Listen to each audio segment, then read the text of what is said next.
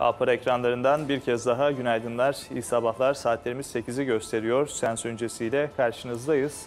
Piyasalara dair önemli gelişmeleri aktaracağız ki haftanın 3. işlem günündeyiz. Önemli gelişmeler var. O gelişmeleri canlı bağlantılarla konuşacağız. Beklentileri ve yorumları alacağız. Onun öncesinde güne başlarken bir rakamlara bakalım. BIST endeksiyle başlayacağız. Borsa İstanbul'da BIST endeksi dün %0.11'lik düşüşte 98.738 puan seviyesinden günü tamamladı. Birazdan haftalık grafiğine detaylı olarak bakacağız. Kur tarafını inceleyelim. Dolar TL tarafında %0.12'lik yükseliş var. 7.0827 seviyesinde. Euro TL'ye baktığımızda 7.67-61 seviyesini takip ediyoruz ve Euro dolar paritesi 1.0839 seviyesinde yatay pozitif seyrini devam ettiriyor. Dolar endeksine baktığımızda 100 seviyesinin aşağısına kalmayı başarıyor. 99.85 seviyesinde %0.09'luk bir yükseliş söz konusu ve sepet kura baktığımızda o tarafta 7.39 seviyesini takip ediyoruz. BIST haftalık gelecek şimdi ekranlarınıza. Borsa İstanbul'da BIST endeksi dün haftanın ikinci işlem gününe %0.80'lik bir yükselişle başladı.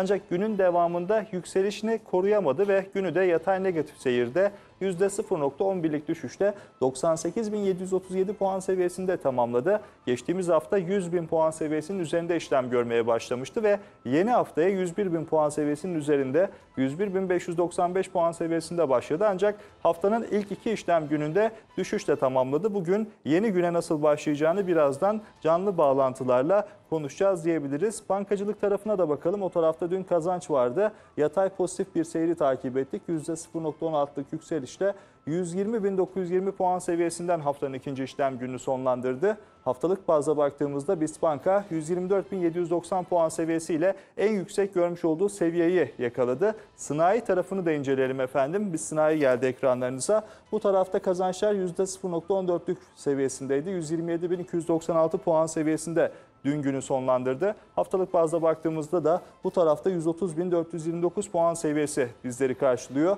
O seviyeyi de Nisan ayının 29'unda yakaladı diyebiliriz. Endekslere ilişkin rakamlar kısaca bu şekildeydi. Şimdi buna ilişkin bir yoruma yer verelim. A Para yayınına konuk olan TEP Yatırım Araştırma Müdürü İbrahim Usul endekslerdeki son durumu değerlendirdi. İzliyoruz.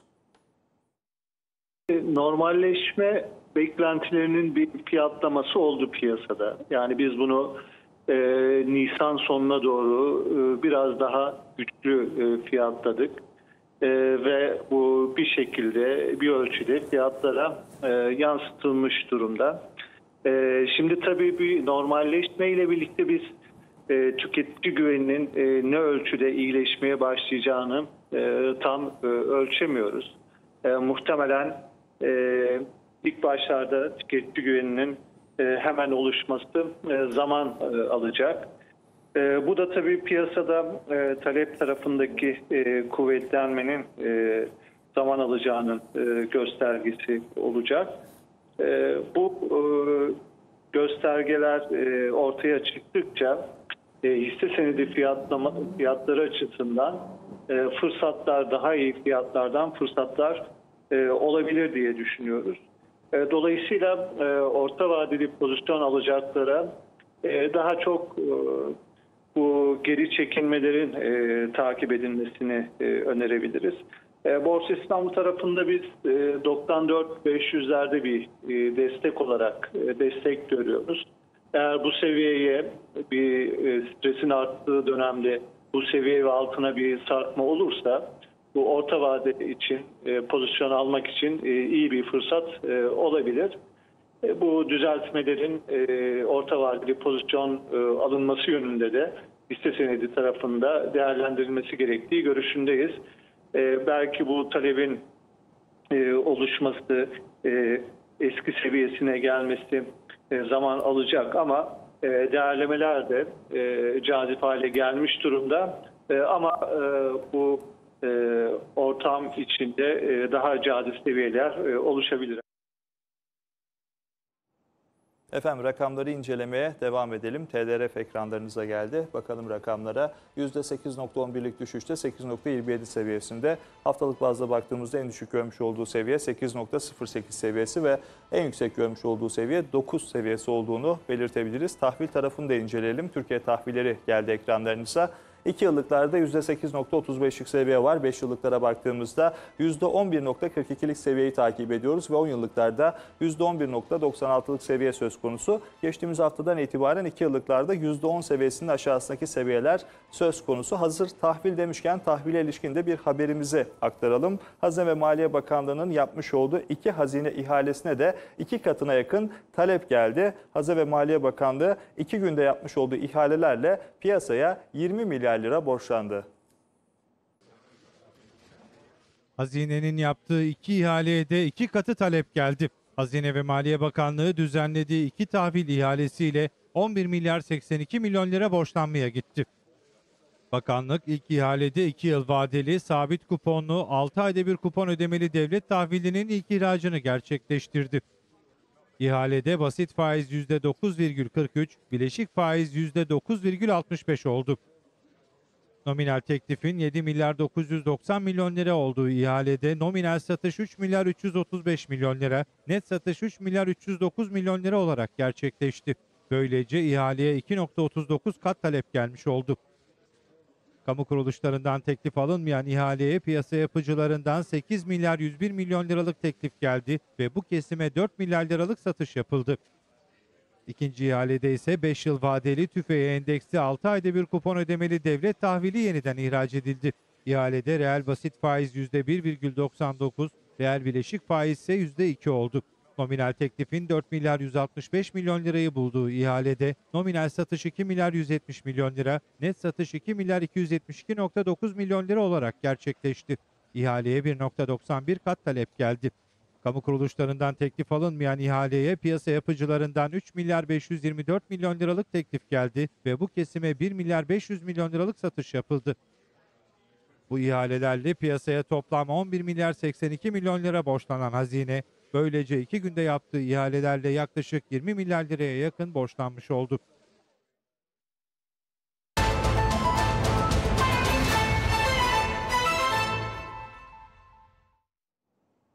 Küresel piyasalarla devam ediyoruz. İlk olarak ABD vadelilerde S&P 500 endeksi geldi ekranlarınızda. Bu tarafta haftanın 3. işlem günü de yatay bir seviyeyi takip ediyoruz. %0.05'lik yükselişte yatay pozitif seyir söz konusu. 2859 puan seviyesinde işlem görüyor. Az önce yatay negatif seyirdi. Hep bu seviyelerde, bu dakikalarda işlem görmeye devam ediyor. Haftalık e, gün içerisine baktığımızda en yüksek seviyede 2868 puan seviyesi olarak karşımıza çıkıyor. Nasdaq endeksine bakalım efendim. Nasdaq endeksi gelecek ekranlarınıza. Bu tarafta 8931 puan seviyesi söz konusu. %0.08'lik bir yükselişi var. Gün içerisinde görmüş olduğu en yüksek seviyede 8961 puan seviyesi olduğunu belirtebiliriz. Yönümüzü Avrupa tarafına çevirelim. Avrupa borsalarını da inceleyelim. Koronavirüsünün tedbirlerinin biraz daha gevşetilmesiyle beraber dün Avrupa piyasalarında pozitif bir hava vardı. Rakamlarını aktaracak olursak Londra borsası %1.70'lik yükselişte 5851 puan seviyesini dün gördü. İngiltere tarafında otomobil satışlarını da dün takip ettik. Rakamlara baktığımızda %97 oranında bir düşüşün olduğunu belirtebiliriz. Frankfurt borsası %2.51'lik yükselişte 10.729 puan seviyesini dün gördü. Paris borsası %2'nin üzerinde kazançta 4482 puan seviyesinden. Madrid borsası da %1.11'lik yükselişte 6747 puan seviyesinden dün günü sonlandırdı. Asya piyasalarına da bakalım. Asya piyasalarını da hatırlatalım. Çin Şangay Endeksi %0.07'lik yükselişte 2862 puan seviyesinde işlem görüyor. Çin tarafını hatırlatacak olursak hafta başından itibaren itibaren borsaları tatildeydi. Bugün haftaya başlamış oldu. Japonya borsası tatil, Hindistan borsasında %1'e yakın hatta %1.01'lik yükselişte 31.769 puan seviyesini takip ediyoruz. Güney Kore borsası %1.49'luk yükselişte 1923 puan seviyesinde işlem görüyor ve Hong Kong borsası %0.65'lik yükselişte 24.024 puan seviyesinde olduğunu belirtebiliriz. Küresel piyasalara ilişkin rakamlar kısaca bu şekildeydi. Şimdi ise günün sıcak gelişmeleriyle devam ediyoruz.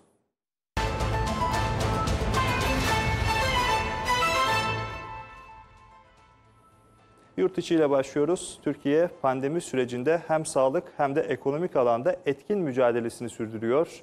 Hazine ve Maliye Bakanı Berat Albayrak, esnaf destek paketinden yararlanan bir işletmecinin iş yerinde çekilen videosunu sosyal medya hesabından paylaştı ve birlikte başaracağız dedi. Detayları geliyor ekranlarınıza. Tüm desteklerin insanımıza ulaşması için tüm kurumlarımızla adeta bir seferberlik içerisinde çalışıyoruz. İşçilerime destek olsun diye çektim ben bu krediyi. İki gün sonra para hesabımdaydı yani. Kefil falan da istemediler benden. Hazine ve Maliye Bakanı Berat Albayrak, koronavirüsle ekonomik mücadele kapsamında esnaf destek paketinden yararlanan ototamir servisi işletmecisi Yasemin Döner'in iş yerinde çekilen videosunu sosyal medya hesabından paylaşıp birlikte başaracağız mesajı verdi. Benim üç tane sigortalı işçim var. İşçi çıkarmak istemedim ben.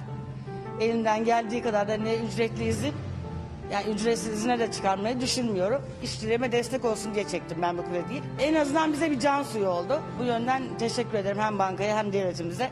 Bu bir milli mücadele. Hazine ve Maliye Bakanı Albayrak Twitter hesabından birlikte başaracağız etiketiyle yaptığı paylaşımda yarınlarımızı mimarı kadınların iş hayatının her alanındaki dik duruşları bizlere güç veriyor. Yasemin Hanım'ın vurguladığı gibi istihdamı koruyacak ve süreçten etkilenen her vatandaşımızın arkasında durmak için var gücümüzle çalışmaya devam edeceğiz ifadelerini kullandı. Bakan Albayrak videonun son bölümünde ise sesli bir mesaja yer verdi. Bu bir milli mücadele ve bu mücadelede destek ihtiyacı hisseden her vatandaşımızın yanındayız ifadelerini kullandı. Bu bir milli mücadele. Bu mücadelede destek ihtiyacı hisseden her bir vatandaşımızın, işletmemizin, esnafımızın, fabrikamızın arkasında Türkiye Cumhuriyeti Devleti ve onun hazinesi var. Gündemin sıcak başlıklarını aktarmaya devam ediyoruz. Koronavirüste mücadelede rakamlar ümit verici. Sağlık Bakanı Fahrettin Koca vaka sayısını 1832 olarak açıkladı. Son 24 saatte iyileşen hasta sayısının artışı ve entübe hastaların azalmaya devam edişini ise başarının göstergesi olarak nitelendirdi.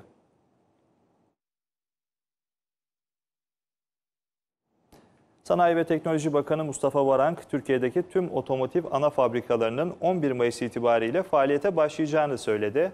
Normalleşme sürecinde çalışanların güvenliğinin ön planda olacağını belirten Varank, Kocaeli'nin ardından Ankara, İstanbul, Bursa ve Tekirdağ'daki sanayi bölgelerinde de test laboratuvarlarının kurulacağını ifade etti.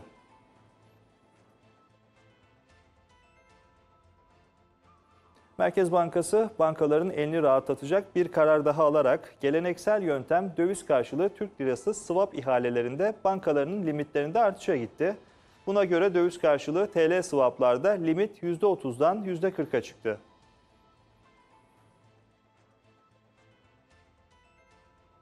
Efendim Bankacılık Denetleme ve Düzenleme Kurumu aldığı yeni kararla bankaların yurt dışındaki bankalarla yaptığı TL işlemlerine sınırlandırma getirdi.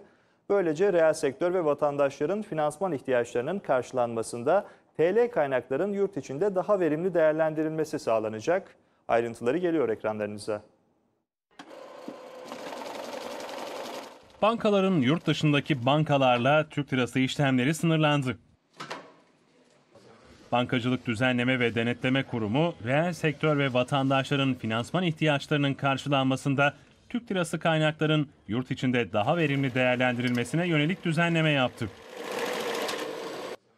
BDDK'dan yapılan yazılı açıklamada ekonomik aktivitenin küresel yeni tip koronavirüs salgını nedeniyle yavaşladığı, reel kesimin üretim ve istihdam açısından zorlandığı bir dönemde Türk lirası kaynakların verimli şekilde ve ağırlıklı olarak kamu ve özel kesimin finansman ihtiyacının giderilmesinde kullanılmasının önem kazandığı vurgulandı. Düzenlemeye ilişkin yapılan açıklamada bankaların yurt dışındaki konsolidasyona tabi kredi kuruluşu ve finansal kuruluş niteliğini haiz ortaklıklarıyla yurt dışındaki şubeleri de dahil olmak üzere yurt dışında yerleşik finansal kuruluşlara yapacakları Türk lirası plasmanlar, Türk lirası depo, Türk lirası repo ve Türk lirası kredilerin toplamının bankaların en son hesapladıkları yasal öz kaynaklarının %0.5'i ile sınırlandırılmasına karar verilmiştir denildi. Söz konusu oranın günlük olarak solo bazda hesaplanmasına, mevcut aşımlar giderilinceye kadar yeni bir işlem yapılmamasına ve bu mahiyetteki vadesi gelen işlemlerin yenilenmemesi de karar kapsamında yer alıyor. BDDK söz konusu kararın koronavirüs nedeniyle oluşan olağanüstü durum geçene kadar süreceğini de belirtti.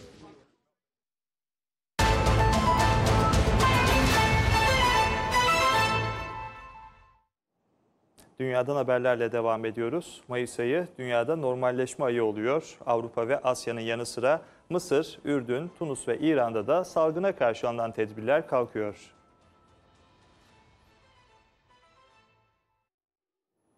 Efendim Almanya Mahkemesi Avrupa Merkez Bankası'nın varlık alım programı kapsamında attığı adımların Avrupa Birliği anlaşmalarıyla desteklenmediğine karar verdi.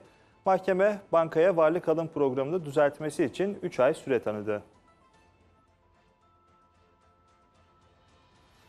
Almanya biyoteknoloji firması BioNTech ile Amerikan Pfizer ilaç şirketi geliştirdikleri COVID-19 aşısını Amerika Birleşik Devletleri'nde insanlar üzerinde test etmeye başladı. Aşı ilk aşamada 360 kişiye uygulandı. Koronavirüs salgını ile mücadele küresel çapta sürerken Amerika Birleşik Devletleri Rusya'yı tedirgin edecek bir açıklama yaptı. Amerikan donanması Soğuk Savaş yıllarından bu yana ilk defa Rusya'nın Barent Denizi'ne 4 savaş gemisi gönderme kararı aldı.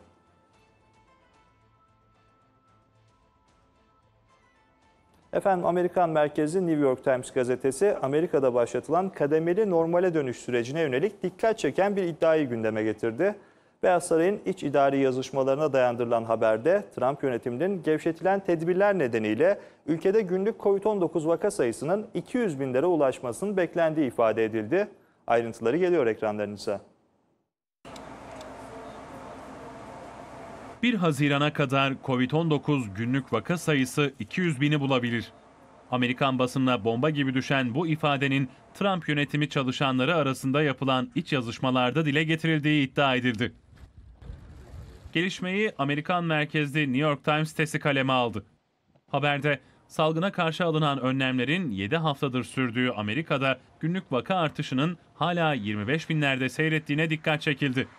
Normalleşme kararının erken alınmış olması halinde ülkenin felakete sürükleneceğinin altı çizildi. Beyaz Saray'ın iç idari yazışmalarına dayandırılan haberde korkunç bir iddia da gündeme geldi. Trump yönetiminin ülkede başlatılan normale dönüş süreci nedeniyle vaka ve ölü sayısında büyük artış beklediği belirtildi. Söz konusu yazışmalarda 1 Haziran'a kadar COVID-19 günlük vaka sayısının 200 bini, ölü sayısının da 3 bini bulmasının beklendiği iddia edildi. Trump yönetiminin söz konusu risklerin bilincinde olmasına rağmen ekonomiyi açma girişimlerinin devam ettiği ifade edildi. Öte yandan iddialara Beyaz Saray'dan yanıt gecikmedi. Söz konusu haberde kullanılan verilerin Amerika Birleşik Devletleri Hastalık Kontrol Merkezi'nin verileri olduğu, Beyaz Saray onaylı veriler olmadığı kaydedildi. Normale dönüş kararının ülkedeki üst düzey sağlık uzmanlarının onayıyla alındığı hatırlatılan açıklamada Amerikan halkının sağlığı Başkan Trump'ın en önemli önceliğidir ifadesine yer verildi. Efendim günün sıcak gelişmelerini aktardık. Şimdi ise o sıcak gelişmeleri konuşma zamanı. Bugünkü konuğum stratejist Yeliz Karabulut. Yeliz Hanım hoş geldiniz yayınımıza. Günaydınlar, iyi sabahlar. Günaydın, iyi yayınlar. Teşekkür ediyoruz. Haftanın üçüncü işlem günündeyiz. Yurt içinde ve yurt dışında önemli gelişmeler var. O gelişmeleri konuşmadan önce dilerseniz yeni güne piyasalara bakarak başlayalım.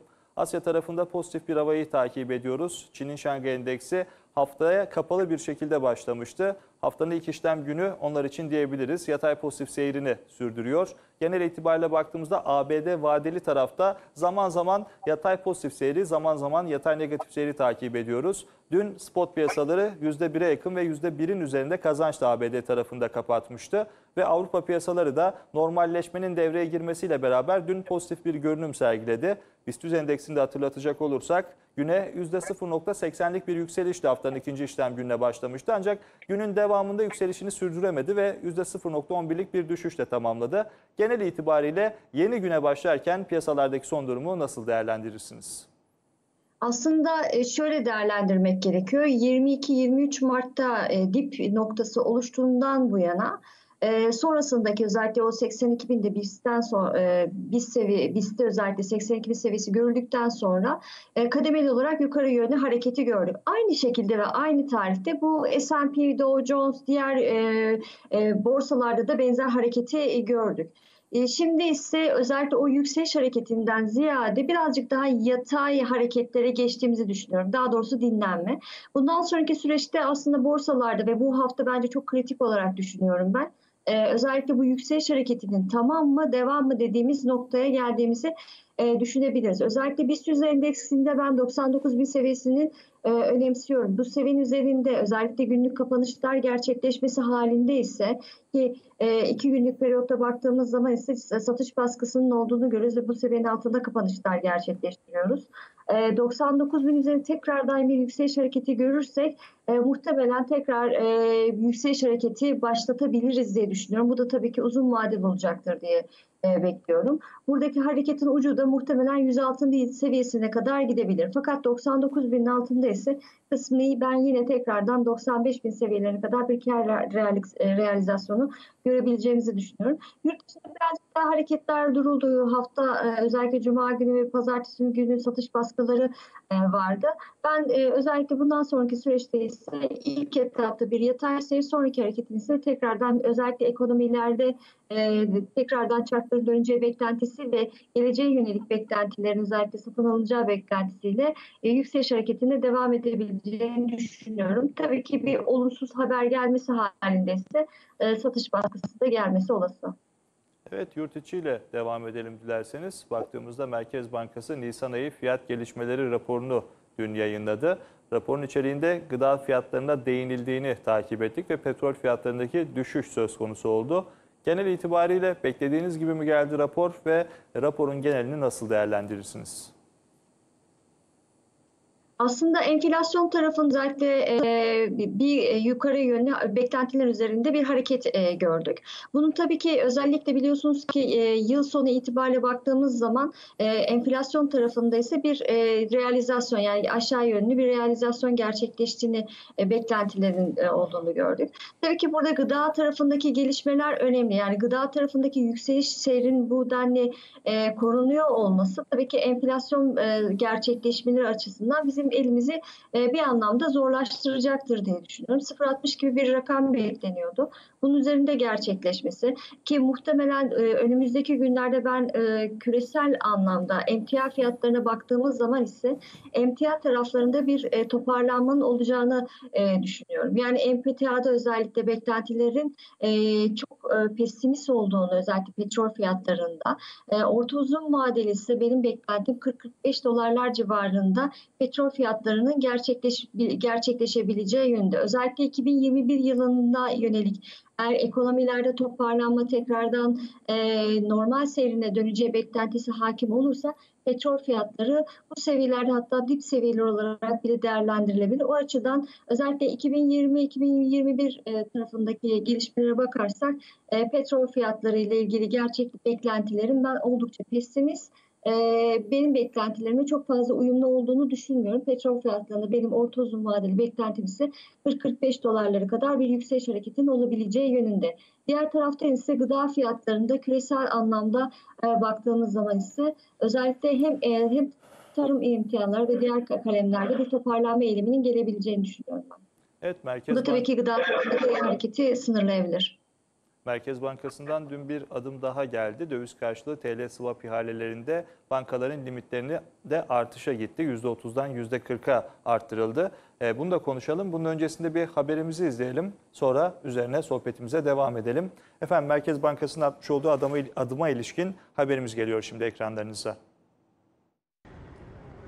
Merkez Bankası'ndan swap işlemlerinde bankaların elini rahatlatacak bir hamle geldi.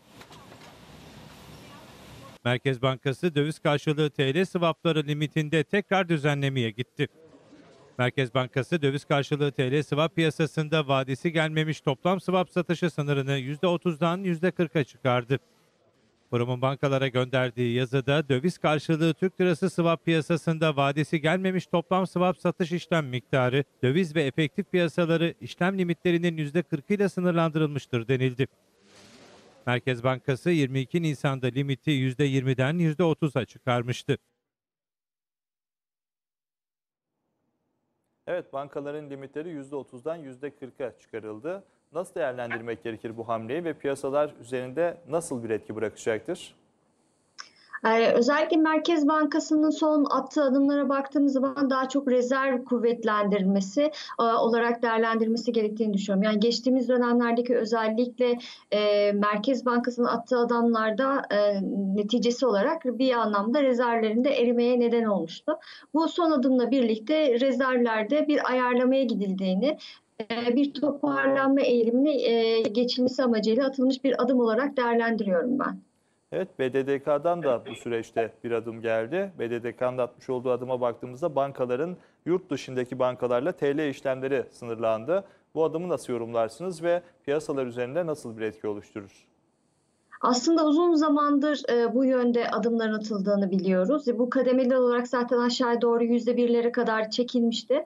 E, şimdi ise e, bu oranın ciddi anlamda aşağı doğru çekildiğini gördük. Yani binde e, 5 seviyesine kadar çekildi. E, bundan sonraki süreçte zaten e, özellikle son e, özellikle iki senedir attığı adımlara baktığımız zaman ise yani 2018 Ağustos ayından beri neredeyse aynı tarafta adımlar atılıyor. Bu daha çok TL tarafındaki oynaklığı azaltılması, TL'nin satışının bir anlamda önüne geçirilmesi ve kurlardaki kontrolü nispi olarak e, e, kontrol etmek amacıyla atılmış olarak e, adım olarak ben görüyorum. Burada tabii ki özellikle gün e, içerisindeki hareketlere baktığımız zaman ve özellikle bu koronavirüsü hikayesiyle birlikte e, dolar TL'de kademeli olarak yukarı yönlü hareketlerin olduğunu görüyoruz. Bu daha çok ama geçtiğimiz dönemlerle karşılaştırdığımız zaman BDDK'nın bu adımlarının bir anlamda e, dolar TL'deki özellikle TL'nin volatilitesi ve satışı itibariyle değerlendirdiğimiz noktada e, volatilitenin önüne geçtiğini net bir şekilde görebiliyoruz.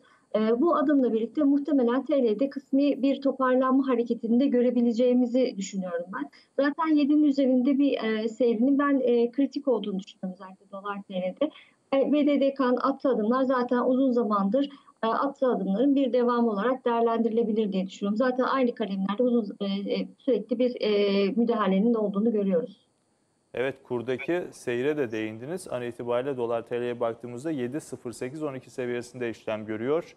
Geçtiğimiz haftanın son işlem gününden itibaren 7 lira seviyesinin üzerinde işlem görmeye başlamıştı. Peki artık 7 lira seviyeleri e, baktığımızda psikolojik seviyeydi ve bunun üzerine çıktı. Kalıcılık da sağlamaya başladı. Artık dolar TL için bu seviyeler mi söz konusu olacak? Orta vadede beklentileriniz neler? E, şu günlerde swap görüşmeleri de devam ediyor merkez bankalarıyla. Ola ki oradan da bir anlaşma çıkarsa e, dolar TL'nin seyrinde yön ne tarafa doğru olur? Şimdi e, özellikle BDDK'nın biraz önceki attığı adımın dolar TL'deki hareketleri sınırlandırdığını e, zaten söylemiştik. Bir de şunu söylemem gerekiyor ki uzun zamandır zaten e, bir bant hareketini ve çok kontrollü bir şekilde bir e, dolar TL'de yukarı yönlü hareketin olduğunu görüyorum. E, buradaki harekete baktığımız zaman ise 6.94 aşağıda 7.24 e, seviyesi de yukarıda benim gördüğüm e, zirve noktası olarak gözüküyor. 7 seviyesinin üzerindeki hareket ki psikolojik sınır bu e, bu seviyenin aşılması halinde ise zaten ilerleyen zamanlarda 7-25 seviyeleri e, doğru bir e, toparlanma yani hareket kademeli bir hareketin gelmesi beklenebilir diye düşünüyorum.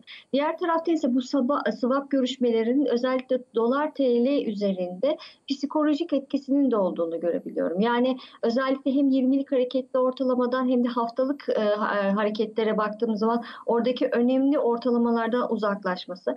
Eğer swap anlaşması gelmesi halinde ise e, o uç bir senaryo ile değerlendirirsek 6.94'ün e, e, kırılması halinde 6.5 seviyelerine kadar da bir geri çekilme görülebilir.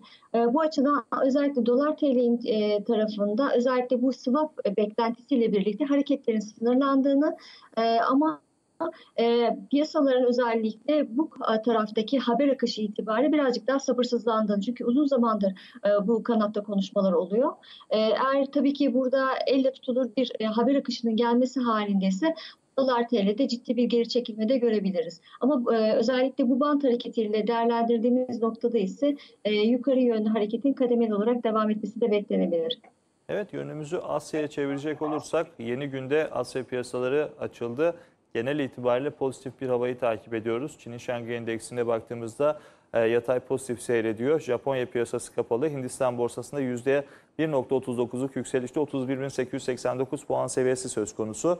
Güney Kore'de %1.5'un üzerinde kazanç var ve Hong Kong tarafında da %1'e yakın kazanç olduğunu söyleyebiliriz. Son günlerde Donald Trump'ın Çin'e yönelik söylemleri yine gündemimizde. Geçtiğimiz günlerde biraz daha sert serzenişlerde bulunmuştu. Dün yapmış olduğu açıklamalarda biraz baktığımızda o serzenişini de yumuşatmış durumda. Virüsün e, Çin laboratuvarlarından çıktığına ilişkin delillerin olduğunu e, belirtmişti. Bu noktada baktığımızda bugün Çin tarafında imalat PMI rakamlarını da takip ettik. Hong Kong tarafında bu hafta e, birinci çeyrek rakamları geldi. Ciddi anlamda daralmayı takip ettik. Beklenti 5.2 seviyesindeydi. Beklentinin de çok üzerinde 8.9 seviyesinde geldi.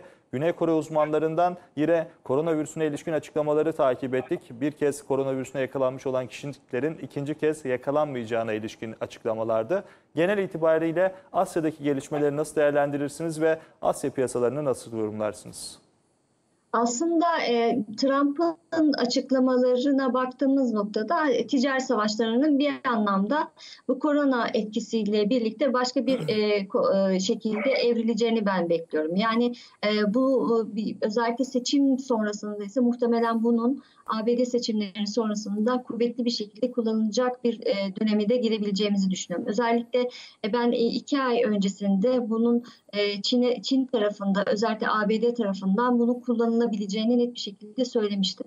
E, muhtemelen e, tabloda a, daha da ağırlaşması beklenebilir diye düşünüyorum ama şu ortamda özellikle Trump'ın e, burada özellikle e, sorumlu pek davranmaması özellikle bu korona hikayesiyle birlikte ölüm vakalarında olumsuz bir tablonun zaten net bir şekilde görülmesi. Vaka sayısına baktığımız zaman hala olumsuzluğun net bir şekilde devam ediyor olması e, birazcık daha seçime doğru giden e, ABD tarafında pek fazla gerilim yaratmayacağını ben düşünüyorum. Yani özellikle geçtiğimiz haftaki o açıklamalar yani geçtiğimiz günlerdeki açıklamalar etkisiyle borsalar tarafında sert satış baskısına neden olmuştu. Muhtemelen daha yumuşak geçişler açıklamalar gelebilir diye düşünüyorum ben. En azından borsalar tarafındaki hep e, Trump e, yüksek sesle söyledi. E, S&P ya da Dow Jones'un e, Trump geldikten sonra zirveleri kırdığını ve olumlu bir süreç e, e, gör, görüldüğünü söylemişti. Muhtemelen çok fazla gerilim e, yaratmayacaktır diye düşünüyorum ama seçim sonrasında ise ben Çin üzerine net bir şekilde ve kuvvetli bir şekilde gidilebileceğini düşünüyorum. E, yine bu günlük hareketlere baktığımız zaman Asya piyasalarında ise e, özellikle biraz önce aynı şekilde Avrupa Amerika e, piyasalarıyla değerlendirdiğimiz noktada zaten orada ekonomilerin açıklayacak beklentilerinin e, satın aldığını, satın alınacağını da zaten bekliyorum ben. Muhtemelen yatay pozitif hareketler bundan sonraki süreçte e, gelebilir diye düşünüyorum. Özellikle bu sadece Asya'ya tabii ki sınırlı kalmayacak. Hem Avrupa hem Amerika borsalarındaki hareketinde pozitif olarak değerlendirilmesi gerektiğini düşünüyorum. Ama burada bir tehlike var. Özellikle pandemideki o büyük listede e, baktığımız noktada ise Güney Amerika'daki tablonun ciddi anlamda ağırlaştığını, yine e, Asya tarafında birkaç ülkede ise tablonun yavaş yavaş tekrardan e, ağırlaştığını net bir şekilde görebiliyoruz. Yani bu ikinci bir dalga e, senaryosu eğer haber akışı itibariyle kuvvetli bir şekilde eğer piyasalara da yansırsa bu da tabii ki borsalarda ikinci bir dip seviyesi arayışına da neden olabilir diye düşünüyorum. E, şu an görünüme baktığımız zaman ise oldukça bir pozitif süreç var. Ama dediğim gibi özellikle o Güney Amerika'daki özel Brezilya gibi ülkelerdeki tablonun ağırlaşması e, ya da e, özellikle Asya e, ülkelerinde e, vaka sayılarında bazı ülkelerde artış gösteriyor olması e, bir risk olarak göz önünde bulundurulabilir. Ama genel itibariyle baktığımız zaman ise ekonomide çarkların dönebileceği beklentisi e, piyasalarda ben satın alınacağı için e, borsalar tarafında pozitif e, beklentimi koruyorum. Evet Avrupa tarafında da açıklanan dataları takip ediyoruz. Amerika tarafında da hem açıklanan rakamları takip ediyoruz hem de bu hafta açıklanması beklenen rakamları konuşacağız. Onun öncesinde ABD ve Çin arasındaki gerginliğe değindiniz. Buna ilişkin bir yoruma daha yer verelim. Sonra sohbetimize devam edelim. Efendim Amerika Birleşik Devletleri ve Çin arasındaki gerginlik devam ediyor. Apara yayınına konuk olan Tera Yatırım ekonomisti Enver Erkan bu konuyu değerlendirdi. Şimdi tabii koronavirüsle mücadelenin ne kadar süreceği önemli bir belirsizlik. Hadi koronavirüsü eledik, ortamın normale döndüğünü varsaydık. Şu ortamda bile yani faz 1 imzalanmış olmasına rağmen faz 2, faz 3 süreçleri ne dair beklentiler hatta ve hatta ticaret savaşlarının bitmesine dair beklentiler fazla iyimser kalan beklentiler. Ee, Bunların olmasının e, niteliksel anlamda ve ulusal çıkarlar anlamında gerçekleşmesine olanak yok e, şu noktada. E, Ki bu durum biraz tabii koronavirüs süreci e, dünya kamuoyunun Çin'e bakış açısını negatif olarak değiştirdiği için biraz da e, bu noktada Trump'a yarayacaktır e, diye düşünüyorum. Çünkü şu an biraz daha o noktada aradığı ortamı bulmuş gibi bir görüntü içerisinde. E, tabii burada amaç e, normal şartlar altında yani olay ticaret açığı üzerinden dönmediğini artık e, hepimiz biliyoruz. Olay aslında e, ülkelerin yani Amerika'nın ve Çin'in özellikle küresel teknoloji pazarında pay kapma mücadelesi ve ulusal çıkarları şekline doğru bürünmüş durumda. Bu noktada da Trump tabii ki Amerikan şirketlerine çalışan bir görüntü içerisinde. Ne diyor onlara? Üretiminizi içeriye doğru alın. Ee, yani Uzak Doğu'da üretimi sonlandırıp Amerika'da kendi memleketinizde üretim yapın. Tabii bu işçi maliyetlerini arttıracağı için bir enflasyonist etki getirecek bir durum aynı zamanda. Ee, Bir taraftan da tabii ki kısıtlayıcı önlemler al- alarak e, ve ticaret partnerlerini de benzer şekilde bu kısıtlayıcı önlemlere, yaptırımlara uymaya zorlayarak Çinli markaların pazardaki yerlerini azaltma yönde. Yani aslında çok boyutlu bir savaşın içindeydik ve bu e, sorunların hiçbirisi de çözümlenmiş bir seviyede değildi. Şimdi daha iş içinden çıkılmaz bir duruma gelmiş durumda. Özellikle Trump'ın bu noktada e, o koronavirüs sürecinden önce faz 1 sürecinde e, bazılarını azaltmış olduğu, bazılarını geri çekmiş olduğu tarifeleri yeniden koyması e, bu noktada ipleri tabii ki e, daha da fazla kopartacaktır. Biraz da tabii koronavirüs süreci küresel ticaretinde evrim geçirmesine katkıda bulunacak. Ülkeler artık daha fazla içe döndüğü döneceği için e, uluslararası birlikler daha fazla zayıflayacağı için mesela bu süreçte Dünya Ticaret Örgütü de çok büyük güç kaybetti ve belirleyici güç olmaktan çıktı bu noktada. E, Ülkeler daha fazla ikili anlaşmalara yönelecekler. Daha fazla ulusal çıkarları o ön plana çıkartacaklar ve fiyat savaşlarından çok artık e, küresel ticarette öne çıkmanın yolu niteliksel ürün üretiminden geçecek. Efendim Amerika Birleşik Devletleri ve Çin arasındaki gerginliğe ilişkin yorumu izledik. Şimdi sohbetimize devam edeceğiz. Amerika'da kalmaya dilerseniz devam edelim. ABD tarafına baktığımızda New York Times gazetesinin bir iddiasını takip ettik. Normalleşme ile beraber günde 200 bin vakanın ortaya çıkabileceğini ifade ettiler. Ee, tabii şu an gelen datalara baktığımızda hiç de iç açıcı olmadığını görüyoruz. Bu noktada New York Times'ın ifade etmiş olduğu gibi günde 200 bin vakanın ortaya çıkmasında tabii sonucun neler getireceğini tahmin etmek güç. Dün baktığımızda ABD tarafında ISM hizmet endeksini takip ettik ve 2010 2009'dan beri son 10,5 yıldan beri en düşük seviyeye geriledi Mart ayında. 52.5'ten 41.8'e geriledi ve ihracat rakamlarına da bir çakılmayı takip ettik. Son 11 yılın en düşük seviyesine geriledi. Genel itibariyle Amerika'yı konuşacak olursak onlar da bir normalleşme sürecine girdiler. Ancak data anlamında baktığımızda hiç de iç açıcı veriler gelmiyor. Ee, uzun zamandır zaten bunları e, konuşuyoruz. Özellikle bu pandemi başlamasıyla, özellikle Mart ayı itibariyle e, zaten e, büyümelerdeki o datalardaki olumsuzluklar net bir şekilde büyük bankalar tarafından e, ve e, büyük kuruluşlar tarafından tahmin olarak zaten söylenmişti. %10'lar civarında daralmalar bekleniyor özellikle ikinci çeyrek itibariyle. ABD tarafına baktığımız zaman sadece Mart ayının olumsuzluğu e, işin içine katılmasıyla birlikte %4.8 bir e, daralma e, ge- gerçekleşti. Yani bunlar zaten uzun zamandır konuşuluyordu ve e, bir anlamda %4.8 daralmasına rağmen borsalarda bunun çok fazla karşılığını görmedi. Çünkü bunlar sözel olarak piyasalara beklenti olarak söylendikten sonra bunlar zaten satın alındı. Daha büyük bir olumsuzluk geldi gelmesi halinde e, tekrardan bir e, şey olabilir, satış dalgası gelebilir diye düşünüyorum. Onun haricindeki e, özellikle finansal piyasalar itibariyle bunların haber akışı itibariyle karşılığına baktığımız noktada ise e, bunun ben e, çok fazla bir etkisinin olabileceğini düşünmüyorum. Ama e, diğer taraftan ise özellikle e, ölüm sayılarıyla beklentilere baktığımız zaman ABD tarafındaki o ekonominin tekrardan açılacağı, e, çarkların tekrar dönünce e, beklentisinin e, vaka ve ölüm sayılarındaki karşılığını e, ciddi anlamda olumsuzluk yaratabilir diye düşünüyorum. Bu özellikle Trump yönetiminin e, e, ciddi anlamda eleştirilebileceği ve olumsuz bir sürece de gidebileceğini bana gösteriyor.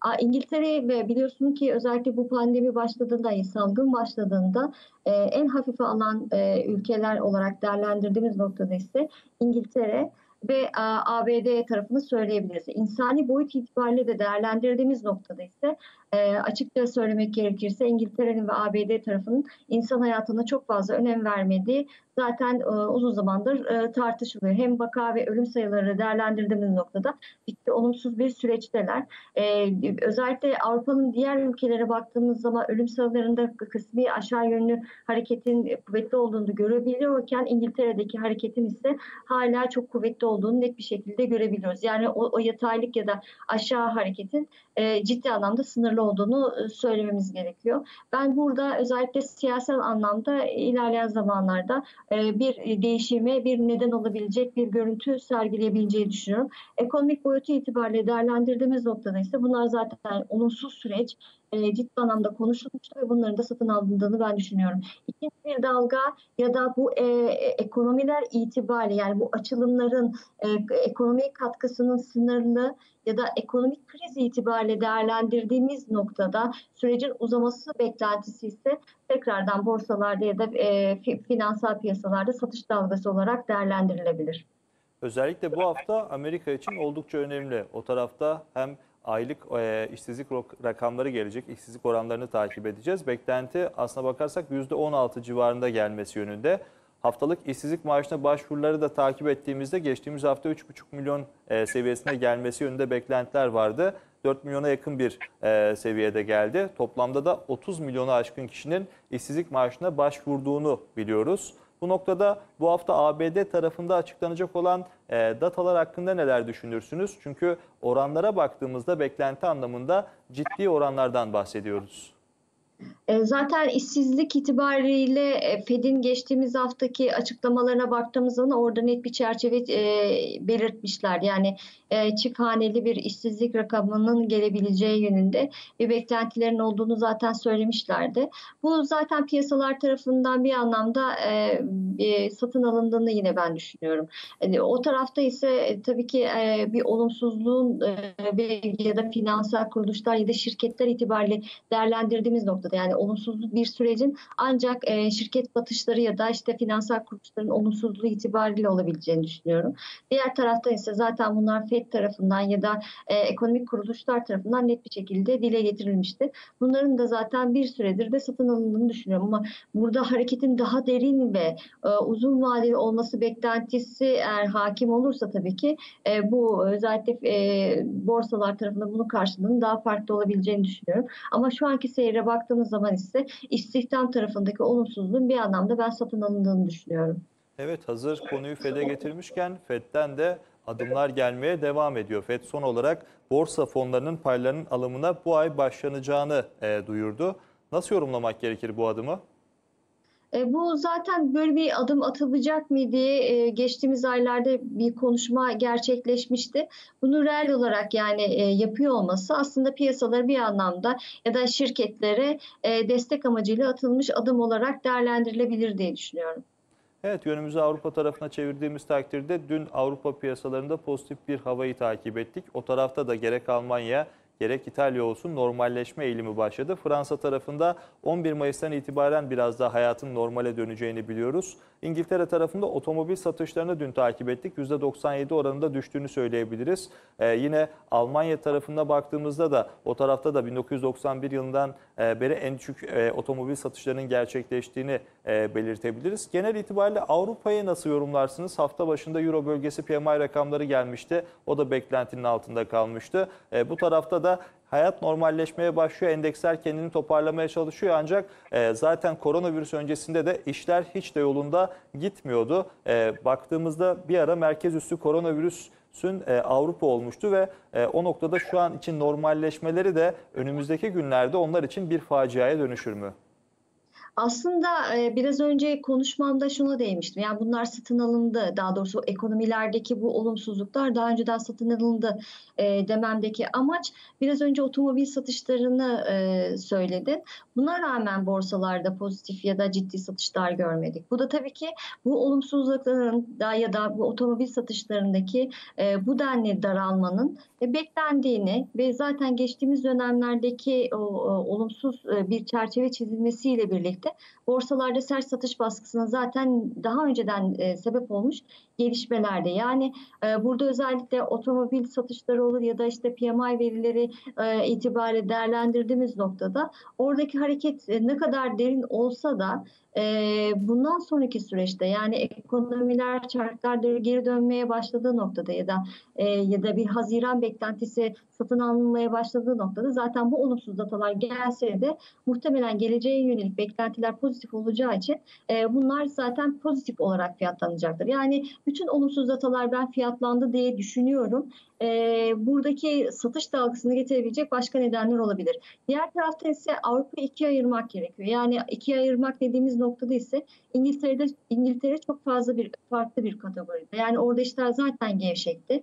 Diğer tarafta ise Almanya, İtalya, Fransa'ya değindiğimiz noktada ise onlar o tarafta ise e, ilk etapta çok fazla ciddi alınmasa da sonraki yılda ise ciddi e, e, kararlar alındı ve oradaki vaka ve ölüm sayılarının azaldığını net bir şekilde görüyoruz. Her ne kadar bizim kadar bir başarı sergileyemeseler de ama e, ekonomik gerçeklikler itibariyle değerlendirdiğimiz noktada kademeli olarak ekonomide geri dönüşler olacağı için oradaki dataların sonraki süreçte kısmi olarak pozitif gelmesi beklenebilir diye düşünüyorum. İngiltere'deki süreç ise daha farklı olacaktır diye düşünüyorum. Hazır Amerika'yı ve Avrupa'yı konuşmuşken Euro dolar paritesine de bakalım. O tarafta da 1.07 ile 1.10 arasındaki bir sıkışıklığı takip ediyoruz. Zaman zaman 1.07.30'dan yukarı doğru bir e, ivmesi gerçekleşiyor. Haftaya aslına bakarsak 1.09.50 bandının üzerinde başlamıştık. Dün bir ara 1.08 seviyesinin aşağısına inecek gibi oldu. Şu an baktığımızda 1.08.38 seviyesinde işlem görüyor. Parite için önümüzdeki günlerde yön hangi tarafa doğru olacak? Aslında euro dolar paritesindeki harekete baktığımız zaman e, bu bir yükseliş hareketi vardı yani bunun devamı da beklenirdi diye düşünüyorum ama bu özellikle Almanya tarafından bir mahkeme kararı biliyorsun e, açıklanmıştı.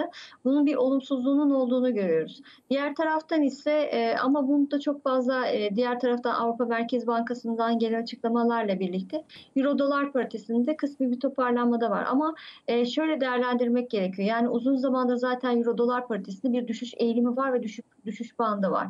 Bu düşüş bandını değerlendirdiğimiz noktada ise 1.07-30 seviyesi aşağıda, yukarıda bir seviyesi de e, gördüğüm benim direnç noktası. Bu e, seviyeler arasında hareket etmesi beklenebilir diye düşünüyorum. Ve e, özellikle 1.08 seviyesi de e, bir önemli bir destek noktası olarak değerlendirilmesi gerekiyor. Yani bu seviyenin üzerinde tutulmaya devam etmesi halinde özellikle 1.08 üzerindeki hareketi güçlendirmesi halinde ise ben tekrardan bir 10'lu seviyeleri, bir 70 seviyesine doğru bir hareket gerçekleştirebileceğini düşünüyorum. Bundan sonraki satın alınacak hikayesi özellikle dolar tarafından ziyade Avrupa'nın hikayesi olacaktır diye düşünüyorum. Burada e, yavaş yavaş çarkların döneceği ya da e, özellikle alınan kararların birazcık daha yumuşatılacağı beklentisiyle Euro tarafında pozitiflik görebileceğimizi ben düşünüyorum yönümüzü altın tarafına çevirecek olursak o tarafta da aslına bakarsak belli bir dönemde yükselişi takip ettik. Ancak son bir iki haftadır da bir sıkışıklık söz konusu.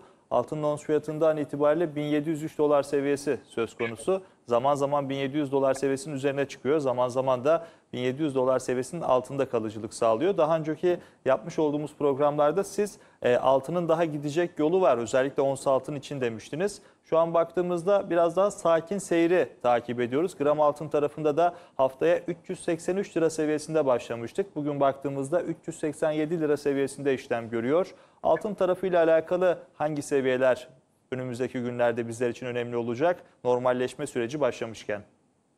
Uğur aslında geçtiğimiz haftalardaki konuşmalarıma baktığımız zaman o 1500 seviyelere geldiğimiz noktada ben sürekli altının seviyelerinde yükseliş hareketinin görülebileceği 1750 seviyelere kadar da bir yükseliş hareketi görebiliriz diye düşünmüştüm, e, söylemiştim ve zaten o seviyelere kadar geldik. E, şimdi bir yeterlik görüyoruz ama burada altın tarafında ikinci bir dalganın görebilmemiz için ya bir olumsuz bir senaryonun e, geliyor olması gerekiyor ya da bu genişleme hamlelerinin yeni haber e, akışını görmemiz gerekiyor. Şimdi e, özellikle bir ikinci dalga şu an e, beklentisinin çok zayıf olduğunu e, düşündüğümüz noktada ya da parasal genişleme itibariyle mesela FED tarafından gelebilecek açıklamalara baktığımız zaman günlük alımların birazcık daha sınırlandığı noktada ya da pandemide e, en kötüsünün geri kala- kaldığı beklentisi hakim olduğu noktasında ben altın fiyatlarında birazcık daha e, realizasyon görebileceğimizi düşünüyorum.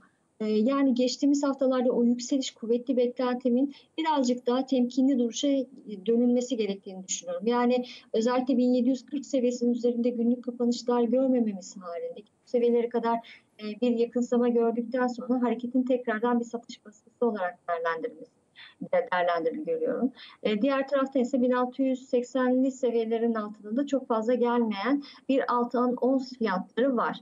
Yani bu iki seviye arasında ner- bir hareketlenme var. Ama net itibariyle değerlendirdiğimiz noktada eğer olumlu bir süreç bizi bekliyorsa muhtemelen altın fiyatlarında ise bir satış dalgası beklenebilir diye düşünüyorum. E, yatırımcıların özellikle ons tarafında temkinli olması gerektiğini düşünüyorum. Özellikle 1700'ün altındaki hareketleri ben riskli olarak değerlendiriyorum. E, 1680 seviyesinin altında ise hareketin daha satış baskısına neden olabileceği hatta 1600 seviyelere kadar da bir geri çekilme gelebileceğini düşünüyorum. Yani temkinli duruşun özellikle yatırımcılar nezdinde bundan sonraki süreçte e, devam etmesi gerektiğini düşünüyorum. Özellikle bir iki haftalık periyotta ise e, bu yönde e, e, e, beklentim var. 1740 seviyesinin üzerinde günlük e, kapanışlar gerçekleşmesi halinde ise tamam ikinci dalga altın fiyatlarında geli, geliyor diyebiliriz. Gram, tarafında ise e, özellikle dolar e, TL'deki hareketlerin zaten net bir şekilde karşılık bulduğunu görüyoruz. Yani altın onsa o yatay aşağı yönlü bir hareket varken e, dolar TL'deki özellikle 7 seviyesinin kırılması ile birlikte gramı kısmi olarak yukarıya doğru toparladığını görüyoruz. Yani dolar TL ya da alt, e, gram tarafındaki e, hareketin paralel bir anlamda olduğunu net bir şekilde görebiliyoruz. E, dolar TL'de özellikle swap hikayesi o beklenti gerçekleşirse e, meblağ tabii ki orada hangi ülkeyle yapacağı da bir anlamda önemli. E, dolar TL'de eğer bir sat, sert satış baskısı gelirse gram TL'yi de e, ise sert şekilde aşağıda çekebilir diye düşünüyorum. Yine e, gram yatırımcılarında e, temkinli hareket etmesi gerektiğini düşünüyorum. çok teşekkür ediyoruz yayınımıza katıldığınız için. Çok sağ olun, kolaylıklar dileriz. Ben teşekkür. Efendim bugünlük de biz sürenin sonuna geldik. Bugün bizlere stratejist Yeliz Karabulut eşlik etti. Kendisine katkıları için teşekkür ediyoruz. Saat 11'de görüşmek dileğiyle. Hoşçakalın. Apara ekranlarından ayrılmayın.